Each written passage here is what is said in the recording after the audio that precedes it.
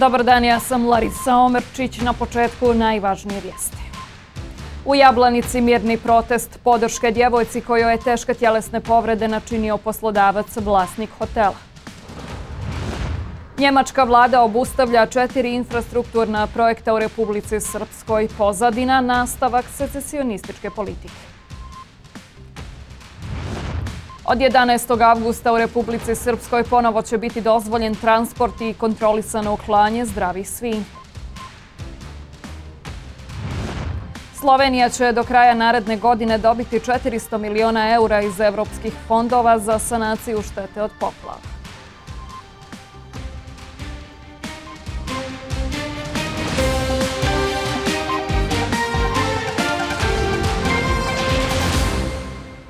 U Jablanici mirni protest, protest podoške djevojci kojoj je teške tjelesne povrede načinio poslodavac, vlasnik hotela. Nakon što je slučaj obznanjen u javnosti uz osude, udruženja, građani, institucije digle su svoj glas. Stop nasilju, nasilju nad ženama, ali i glas za radnička prava. Protest u Jablanici počeo je u 18 sati, BHT na mjestu događaja i Ivana Vidmar. Ivana, kako protiče okupljanje građana i šta su poručili? Moram reći da je mirno protekao, u stvari protiče ovaj prosvjed. Nažalost, u ovom trenutku ne možete vidjeti koliki broj ljudi se okupio. Usudim se reći, pa možda i više tisuća. Doslovce, evo, dok je išla najava dnevnika, ova ogromna kolona se počela pomjerati i zaputili su se ispred hotela Jablanica. Ono što smo proteklih sat vremena mogli ovdje između ostaloga čuti, pravda za Enisu, pravda za džena, na pravda za Davida. Dakle, svi, dakle, nije u ovom slučaju pitanju samo Enisa koja je pretrpjela teške povrede koje je nanio njen šef, vlasnik hotela Jablanica. Dakle, ovdje se govori o svim ljudima, o svim ženama, o svim obespravljenima u Bosni i Hercegovini. Dakle, ogroman broj udruženja, ne samo iz Jablanice, već iz cijele naše zemlje, okupio se ovdje kako bi digli glas, kako bi poslali jasnu i nedvosmislenu poruku svim nadležnim institucijama policijama na posetu žiteljstvu, budući da su naložili ponovno ispitivanje dokaza i ispitivanje Enise. Evo sa mnom u društvu je Dijana Kukolj, jedna od aktivistica iz Jablanice. Što je ono što vi konkretno tražite? Prije svega ja želim reći dobro večer Bosno i Hercegovino. Hvala vam što ste se odazvali i što ste u ovolikom broju došli u našu Jablanicu da date podršku ne samo našoj Anisi, da date podršku svoj našoj djeci Bosne i Hercegovine i da kažemo dosta tatinim i maminim sinovima. Tražimo zatvorske kazne, tražimo pravdu koje u ovoj zemlji već odavno nema. Znači isto tako tražimo e, i zahtjevamo od tužiteljstva ne nagodba sa ovim zločincem. Tražimo zatvor.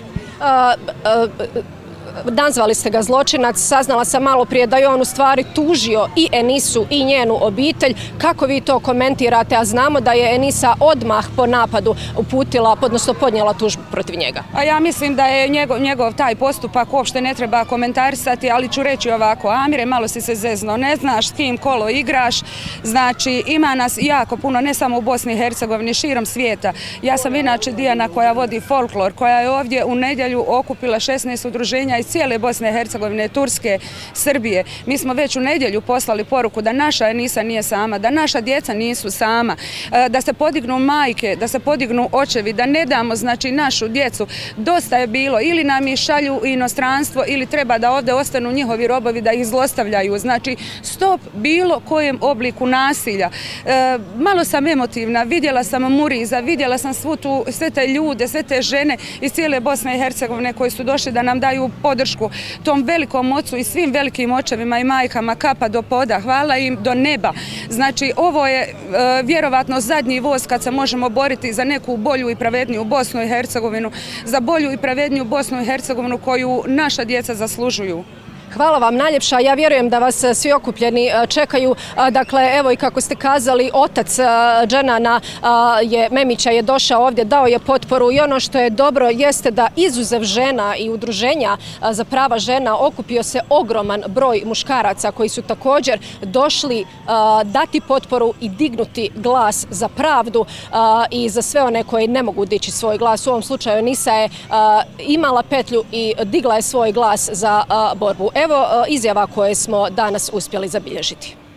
Znači ovo je nešto što sve nas boli i nemojte da nas incidenti povežu, pokažemo da možemo i da su ljudska prava i radnička prava jedno te isto. Iskreno vjerujem da će ovaj skup biti poruka ljudima u pravosuđu, tužiteljima, sudijama, vještacima, da mnogo strože procjenjuju nasilje nad ženama koje se događa bilo kad i bilo gdje. Eh, danas, eh, evo, tijekom ovih prosvjeda imala sam priliku razgovarati sa jednom veoma bliskom osobom. Eh, Enisi kazao je da je Enisa trenutačno kući sa, svojim, sa svojom obitelji, oporavlja se da rane bole, ali kaže za cijeliće da je Enisa izrazito jaka, možda čak i jača od svih ostalih članova u ovoj obitelji. Međutim, evo, nisu imali snage ipak izići danas ovdje u javnost među ovoliki broj ljudi. Kaže, ne iznenađuje je tužba koju je njen bivši šef podnio protiv nje, ali ona će se boriti do kraja. Angažirala je i odvjetnički ured iz Mostara koji su također jeli, podnijeli tužbu protiv nasilnika. Dakle, ona se oporavlja. Ono što nam je potvrdilo, potvrdio jel, ta osoba bliska Enisi, da Enisa još uvijek nije dobila, dakle nije joj isplaćena posljednja ta plaća koju je u stvari i tražila i zbog koje je i dobila ove batine. Također plaće nisu isplaćene i kolegicama koje su stale u njenu zaštitu zaštitu. Također sam doznala da ovo nije prvi put da se ovaj vlasnik hotela Jablanica tako ponašao, međutim do sada nije bilo fizičkih nasrtaja, do sada su bile, bila psihička zlostavljana i redovito se znalo dogoditi da ukoliko netko da otkaz i traži svoju posljednju plaću, ona mu ne bude isplaćena. Što se tiče ovih aktivnosti, evo Dijana Kukolj kazala mi je u ovom razgovoru prije uključenja da na ovome definitivno neće stati, sigurno će biti još okupljanja sve dok sve nadležne institucije, a posebice tužiteljstvo ne izvrše ono što se traži od njih, dakle kazna i zatvor za počinitelja u ovom slučaju. Alarisa, ako nema nekih pitanja, to bi bilo sve iz Jablanice. Nema Ivana pitanja, hvala ti za ovo javljanje iz Jablanice, izvještavala Ivana Vidmar. Posljednji slučaj fizičkog zlostavljanja izazvao je burne reakcije i izvan naše zemlje, pa se postavlja pitanje šta treba da se desi da nadležni konačno adekvatno reaguju i zaštite radnike. Neisplaćivanje plate, neplaćanje prekovremenih sati, otkazi u slučaju trudnoće, ucijene, mobbing, nezakoniti zahtjevi poslodavaca, sve ovo realnost radnika u Bosni i Hercegovini. Radi i dnevne i noćne smjene. Plaću ne smije tražiti jer kažu budi sretan što imaš posao. Ukoliko se požali zbog prekovremenog rada, može čak i biti ucijenjen, trpiti psihičko zlostavljanje ili čuti onu famoznu rečenicu ako ima bolje, idi. Često, iako ostane i bez zarađenog novca, gubi i vrijeme i dostojanstvo. Zvuči poznato. Da, zvuči mnogima koji se zbog straha i dalje ustručavaju tražiti pomoći javno progovoriti. Za deset mjeseci radnički pokret je zaprimio preko 8000 prijava na putem maila gdje smo mi pokrenuli jako veliki broj e, samih postupaka prema sudu i organima. Isto tako smo dosta tih problema riješili sa direktnim e, kontaktom poslodavaca. Da su prava radnika samo na papiru, jednoglasni su i građani koji smo sreli na ulicama. Ja radim trenutno u rudnicima Kreka, još uvijek sam ono što kaže pred penzijom, ali loše su. Evo vidite kako zaštićen. Kako da radi kad ima strah? Nemaju radnici nikakva prava. Ističe i pribanja, i slobodni dana. Ukoliko mu je narušeno bilo kakvo pravo, radnik se može javiti radničkom pokretu gdje će dobiti čak i pravnu pomoć ombudsmanima, sudovima, inspekcijama, ali i Savezu samostalnih sindikata iz kojeg navode da će slučaju Jablanici pokrenuti mnoga pitanja. Kada će se, zahvaljujući ovoj e, našoj kolekciji, nažalost, zbog tih dešavanja i drugi odlučiti da javno izađu i kažu s čime se sve suočavaju na svojim radnim mjestima. Iako zakon o radu federacije štiti prava, advokata Janović navodi da stvara i konfuziju i daje kratke rokove, a mnogi radnici nisu ni upoznati s tim. Iako je sporni član koji je regulirao obavezu radnika da se prvo obrati poslodavcu za ostvarivanje prava za koji smatra da mu je povrijeđeno i izmijenjan, problem je i dalje prisutan.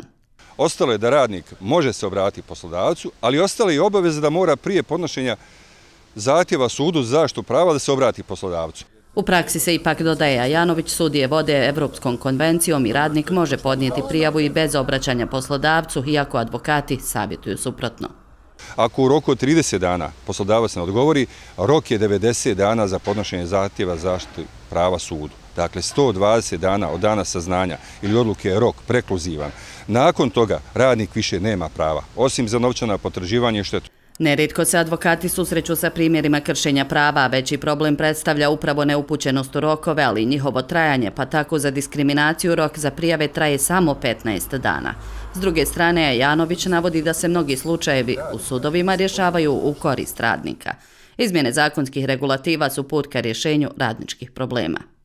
Radnička prava su ljudska prava i njihovo nepoštivanje uzrokuje nejednakost u društvu, lošiji položaj, mogućnost eksploatacije, upozoravaju iz sindikata. Hoće li nadležni konačno adekvatno zaštititi prava svakog radnika ili ćemo nastaviti brojati one koji ta prava traže u drugim zemljama? Mirala Zonić, BHT1, Tuzla. Vlada Njemačke odlučila je obustaviti četiri infrastrukturna projekta u Republici Srpskoj. Kako je saopšteno iz ambasade Njemačke u Bosni i Hercegovini zbog nastavka secesionističke politike tog entiteta i njegovog predsjednika Milorada Dodika. Reakcije iz Republike Srpske nisu izostale. Njemačka savezna vlada odlučila je da dopusti da isteknu četiri infrastrukturna projekta u vrijednosti od 105 miliona evra i da se na taj način sukcesivno okončaju. Navedeno je u saopštenju ambasade Njemačke u Bosni i Hercegovini. Nakon odluke Narodne skupštine Republike Srpske iz decembra 2021. godine o vraćanju nadležnosti i stvaranju vlastitih institucija s ciljem slabljenja države, Njemačka vlada je u aprilu 2022. godine odlučila da privremeno zaustavi četiri infrastrukturna projekta. Međutim, nije došlo do povlačenja secesionističkih mjera koje je tražila Njemačka vlada. Umjesto toga, predsjednik i vlada Republike Srpske nastavili su s eskalacijom političke krize.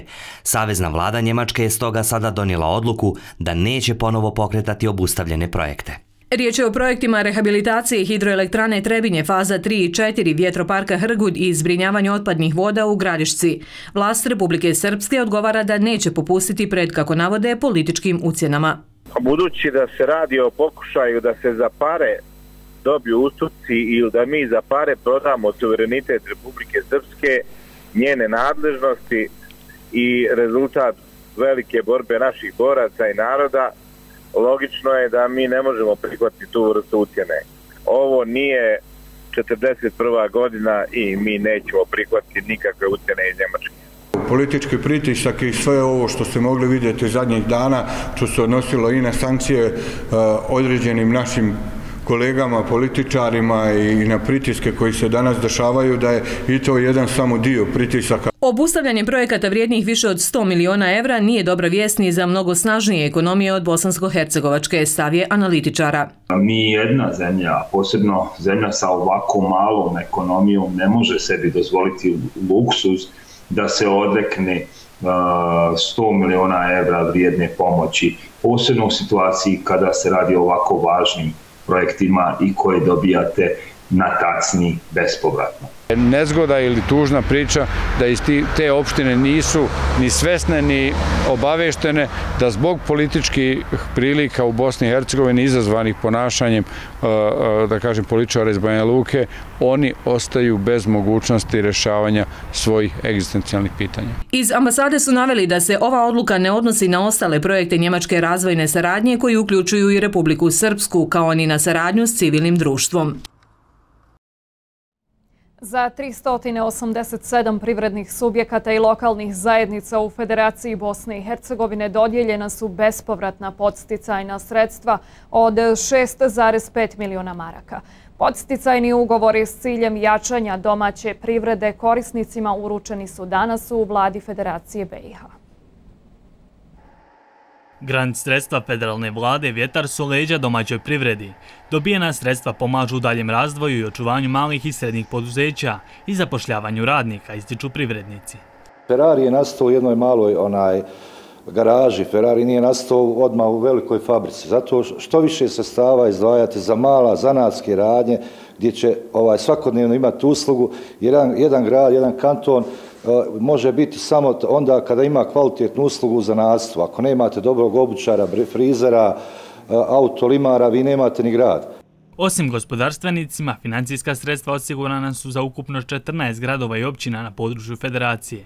Gradonačalnici i načalnici kažu kako će najveći iznos biti usmjeren na izgradnju poduzetničkih zona. Mi smo imali u općini Usra 760 e, e, uposlenih, a danas tu imamo 2100. Najveći broj uposlenih je upravo u tim zonama gdje je Ministarstvo federalno uveliko pomaže općinama. Od 2014. do danas iz ovog ministarstva je ovaj, u razvoj poduzetničkih zona u Gradarcu uloženo oko 950.000 konvertibilnih maraka i to je između ostalog, evo i kolega iz Usore je to naglasio, imalo pozitivne efekte, dakle u istom periodu broj uposlenih u gradarcu se e, povećao za 46%. Resorni ministar tvrdi da će ministarstvo nastaviti sa praksom pružanja pomoći domaćoj privredi, te je najavio da će u budućem periodu biti izdvojena značajno veća financijska sredstva.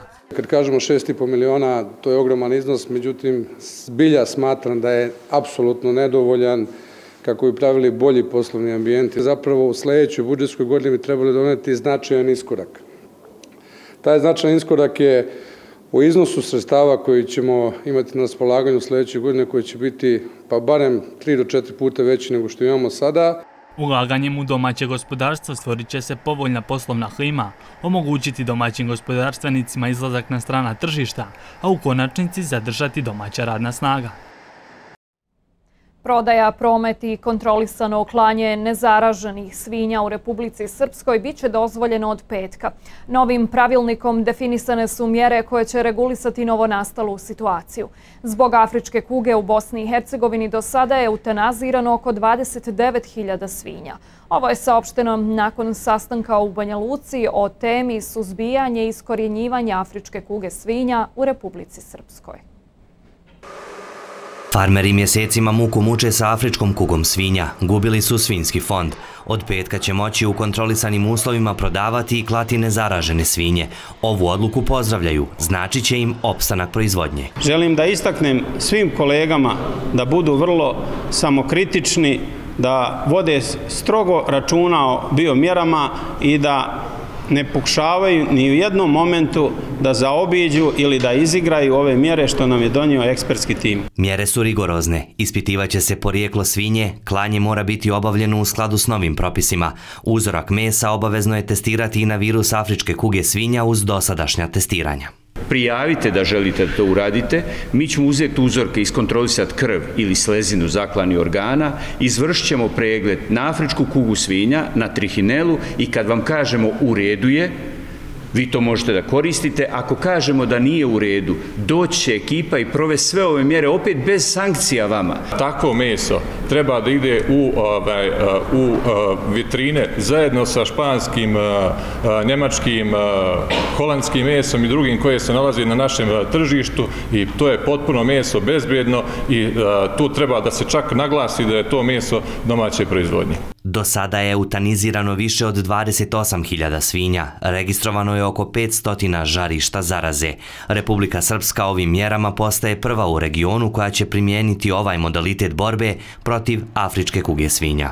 Smanjujemo i modalitet sive ekonomije i crnog tržišta kada su u pitanju e, proizvodi i žive svinje, jer smo apsolutno sigurni da nelegalan prevoz i sve ono što se zvalo švercom ili kako ko zove na kakav način je jedan od vektora širenja afričke kuge svinja. Afrička kuga svinja nije opasna po zdravlje ljudi, ali ni po druge životinje. Upućen je apel svim proizvođačima svinja, ali i malim uzgajivačima za sobstvene potrebe da se pridržavaju mjera i da ne pokušavaju zloupotrebljavati trenutnu situaciju. Nakon što su donacije hrane oslobođene plaćanja PDV-a jednoglasnom podrškom u oba doma Parlamentarne skupštine Bosne i Hercegovine, vrijeme je da se ova zakonska izmjena sprovede u praksi. Dopune zakona o PDV-u koje se odnose na neoporezivanje donacija u hrani objavljene su u službenom glasniku krajem juna. Tako je upravi za indirektno oporezivanje BiH ostavljen rok od 60 dana da pripremi podzakonski akt koji ističe. Kada je očekivati da zakon bude u primjeni? Primjena zakona nadaju se u udruženjima i javnim kuhinjama koje hrane socijalno ugrožene građane Bosne i Hercegovine mogla bi biti moguća već u septembru. Za to su potrebni podzakonski akti. Uprava za indirektno oporezivanje BiH sačinila je pravilnik o izmjeni i dopuni pravilnika o primjeni zakona o PDV-u, te se nalazi u procesu javnih konsultacija koje završavaju 11. augusta. Uprava za indirektno oporezivanje je zatražila i mišljenje od Direkcije za evropske integracije BiH vezano za ovaj podzakonski akt, jer ovaj podzakonski akt mora dobiti i pozitivno mišljenje pomenute direkcije. Čim budu ispunjene sve pomenute pretpostavke, uprava će pravilnik o izmjeni i dopuni pravilnika o primjeni zakona u PDV u BiH proslijediti Upravnom odboru Uprave za indirektno oporezivanje na usvajanje, nakon čega ide objava tog akta u službenom glasniku Bosne i Hercegovine i početak njegove primjene. Inicijatori zakona su fondacija Mozaiku uz podršku pojedinih državnih parlamentaraca. Iz Mozaika navode slali su upravi svoje prijedloge za poboljšanje regulative. Moj lični stav je da to treba uraditi upravo onako kako smo dogovorili sa upravom na najjednostavniji, funkcionalan i transparentan način, pa kroz vrijeme uh, unapređivati pravilnik, ali sada da krene ovaj proces onako kako je zakon rekao. Za udruženje Pomozi.ba primjena zakona bi značila mnogo, jer samo ovo udruženje na dnevnom nivou podijeli hiljadu obroka, a pored toga imaju i hiljadu korisnika kojima doniraju pakete sa prehrambenim proizvodima svakog mjeseca. Također postoji veliko interesovanje naših stalnih partnera, dakle kompanija koji inače nama doniraju određenu količinu hrane za još većim donacijama. Dakle, svi oni koji su ranije bili u mogućnosti da doniraju određene iznose, nakon primjeni ovog zakona će moći donirati još veće količine. Činjenica da ovako zemlja siromašna, da baca hranu je strašno loše, a opet s druge strane ljudi nemaju bukvalno od čega da žive, tako da, da mislim da je ovo nešto jako dobro. Iz uprave uvjeravaju, oslobađanje od plaćanja PDV-a na hranu koja se donira, koja je pred istek roka, trebalo bi da bude do 8. septembra ove godine, jer evidentno je u našoj zemlji je sve veći pritisak na javne kuhinje, jer je sve više gladnih građana.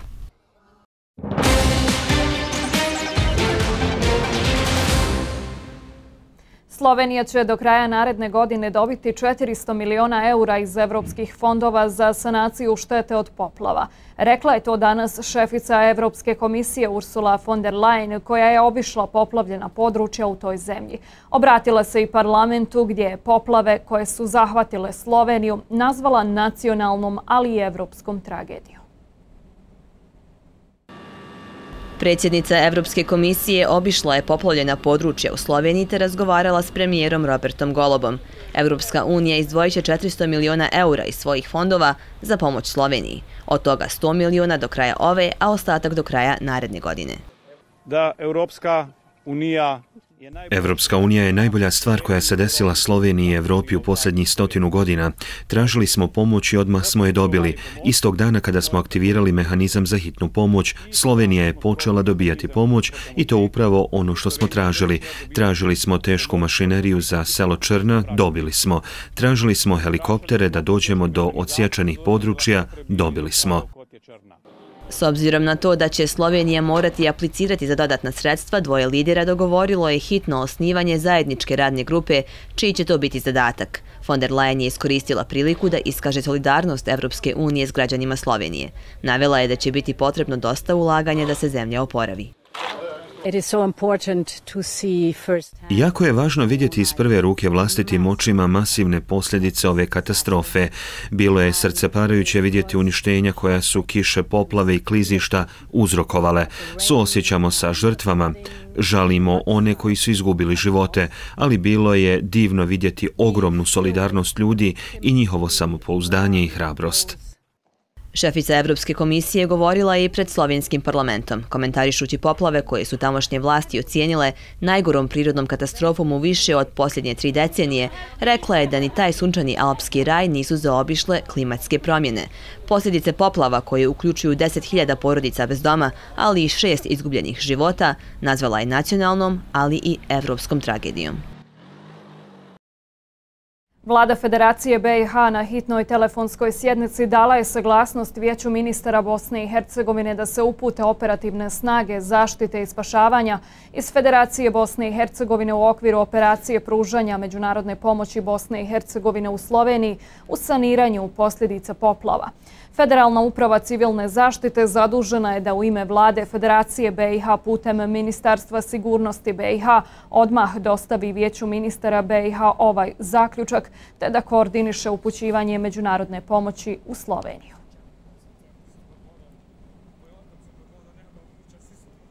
Ministar sigurnosti Bosne i Hercegovine potvrdio je da je policijski službenik Direkcije za koordinaciju policijskih tijela BiH koji je na Facebooku objavio slike kojima, kako je navedeno, veliča oluju uz ustaški pozdrav za dom spremni, suspendovan do okončanja disciplinskog postupka.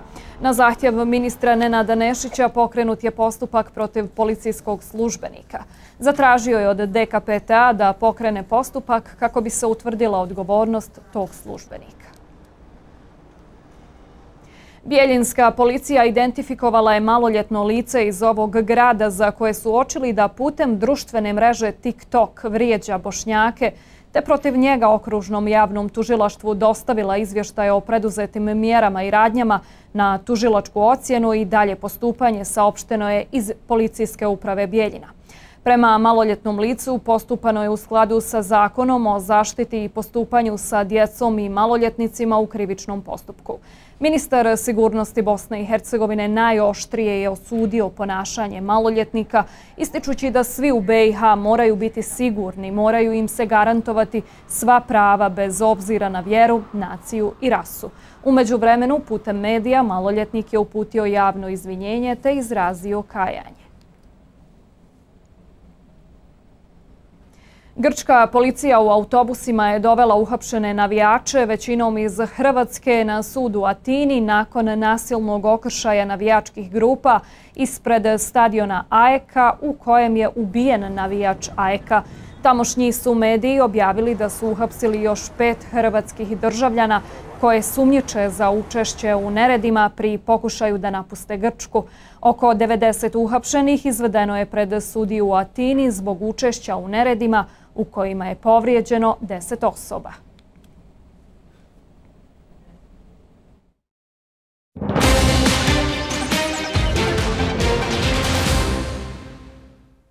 Provjerili smo hoće li nakon što je u javnost procurila informacija da bi uskoro cijene komunalnih usluga preduzeća rad mogle biti skuplje od 60 do 75% poskupjeti. I to u vrijeme kada su građani glavnog grada sve više razočarani čistoćom ulica zbog velikih količina smeća koje u pojedinim predjelima stoji nekoliko dana. Iako je iz preduzeća rad bio objavljen novi cenovnik usluga odvoza smeća, a prema kojem bi građani tu uslugu umjesto do sadašnjih 11 plaćali 18 feninga po metru kvadratnom, iz preduzeća rad poručuju da većih cijena u skorije vrijeme neće biti. Kada govorimo o cenovniku, on je još uvijek u radnoj verziji, tako da nije donesena konačna odluka o tome koja će biti izmjena postojeće cijene i da li će uopće doći do izmjene. Neovisno stručno tijelo po zakonu o komunalnoj djelatnosti, kako nam je rečeno, jedino je nadležno da utvrđuje cijene komunalnih usluga i da ih predlaže prema vladi. Za konačnu promjenu cijena potrebna je saglasnost ministarstva i vlade. Predloženi cenovnik, kako ističe ministar, nije u skladu sa zahtjevom konkurencijskog vijeća BiH. Zahtjev konkurencijskog vijeća je bio da se unutar strukture komunalnog otpada za privredu napravi diferencijacija podjela prema korisnicima usluga unutar sektora privrede. Pošto nije urađeno ono kako je trebalo po zahtjevu konkurencijskog vijeća, ovo ministarstvo je to odbilo. Ovo su prizori koje smo zatekli u nekoliko naselja u Sarajevu. Građani su ogorčeni na sve prljavije ulice. Ne odvozi redovno smeće, ne metu se ulice, ne peru se ulice. Ne kupe smeće, preskoči, recimo u mojoj ulici konkretno. Evo, dva puta su preskočili, moram sam trpati u auto i bacati smeće. Svugdje i smeća i kontener puni i prepuni. Dakle, uvijek su krivi građani koji bacaju, koji ostavljamo ono gdje ne treba. Koliko su uzme obzir, znači, taj dio čistoće grada, definitivno da on zavisi od svijesti njegovih građana.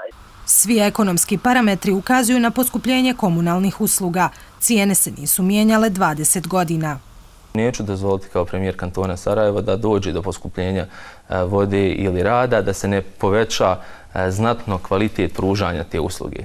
I preduzeće Vodovod i kanalizacija je pripremilo novi cjenovnik usluga, pri čemu je, kako kažu, neminovno da cijene budu veće, jer je trenutna cijena neodrživa i neekonomska. Kako će i da li do toga doći, odlučuje kanton. A hoće li doći do promjene cijena korisnicima toplana, nismo dobili odgovor. EU za sport u vrijednosti od 2,1 milijon eura projekat koji je danas ozvaničen u Sarajevu. Predviđena je obnova i modernizacija sportskih dvorana u 17 osnovnih škola u Bosni i Hercegovini na Fakultetu sporta i fizičkog vaspitanja u Sarajevu. Projekat obnove i unapređenja uslova rada u fiskulturnim salama bitan je za razvoj društva. Pogotovo mlade populacije ističu iz delegacije Evropske unije. We value sport Ono što mi želimo da uradimo to je da unapredimo uslove za sportski razvoj i generalno obrazovanje u Bosni i Hercegovini. Mi zaista cijenimo sport kao jedan od načina za usmjeravanje i razvoj društva, za psihološki i društveni razvoj mladih koji će da doprinesu Bosni i Hercegovini. Predstavnici škola kažu da je mnogo bitno da se časovi fizičkog vaspitanja odvijaju u salama koji su opremljene i adekvatno izgledaju, jer je to važno za pravilan rast i razvoj djece. Časovi tjelesnog i zdravstvenog odgoja znamo svi da su veoma važni za pravilan rast i razvoj svakog djeteta. E, obnova sale nama u našoj školi znači mnogo. Hvala vam puno što ste omogućili ovaj projekat da se obnovi i renovira naša fiskulturna sala, što će uticati na kvalitet časova fizičkog i zdravstvenog vaspitanja i uticati na kvalitet i kvantitet brojnih sportskih dešavanja i sportskih i kulturnih manifestacija koje se odvijaju u ovoj sportskoj fiskulturnoj sali. Pored ovog projekta podržavaju se razne aktivnosti u obrazovnom sektoru, kako kažu iz delegacije Evropske unije, bit će ih još. U nastavku programa Sportski blok i kolega Velid Spaho, ostanite s nama.